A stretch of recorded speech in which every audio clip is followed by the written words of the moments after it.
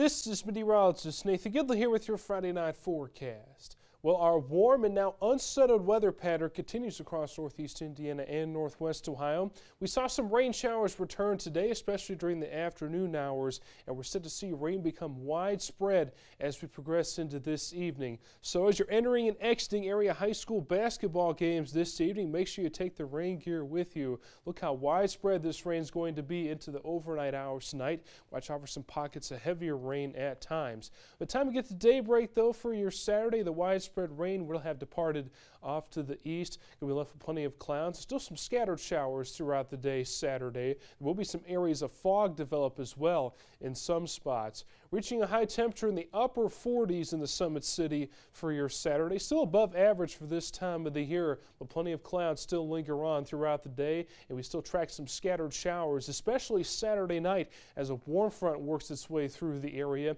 The fog could be dense at times as well as this as this front works works its way through. So keep that in mind Saturday night and for your early Christmas Eve plans. Now, for the day Christmas Eve, we're going to see our nicest day here of the Christmas weekend. Still a slight rain chance in play, but look at the temperature a high of 56 degrees in Fort Wayne. That's the most favorable day for your holiday plans because on Christmas Day, rain is set to return. Widespread rain expected Christmas afternoon and the Christmas night, and still some lingering showers on Tuesday. High still in the the 50s, though, both of those days. So definitely tracking these temperatures could be one of the warmest Christmases we've seen around here.